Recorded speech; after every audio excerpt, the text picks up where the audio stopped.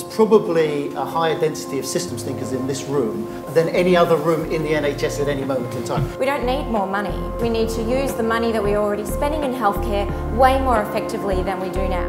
Having the systems that do speak to each other, but really focus it on what the patient needs.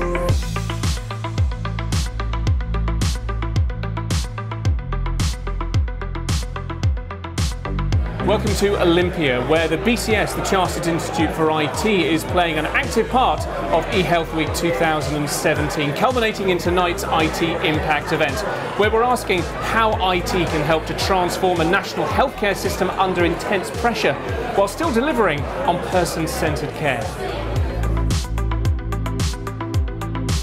We're here to make IT good for society, to inspire these people to go out and make a difference. Hello, people on Facebook Live, people on YouTube Live as well. You are very welcome here. Today, we're talking about how we can transform health and care for everyone.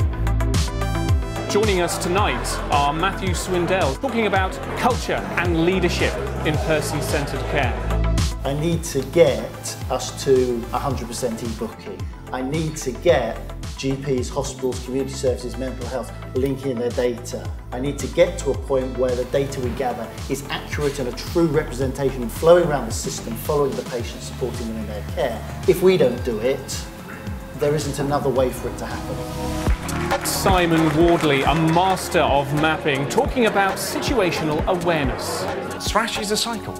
It's really important to act, but it's also really important to observe the landscape. We're also engaging in a fireside chat with two healthcare professionals in the front line, Erin Bolton and Dany Bell. As healthcare professionals, we often switch it to our own agenda. We decide what we think is the best thing for that patient and not necessarily what they're looking for. I think we need to accept the fact that the data belongs to the patient. It's not our data, it's their data, it's their life. They need to be controlling it. Trying to work in an agile way rather than looking at separate systems, separate projects. Evenings like this is, is great. And you, you see people from all different uh, parts of the NHS uh, working out how to actually work together and collaborate together. So that, that's always fantastic. We're in kind of step change mode now.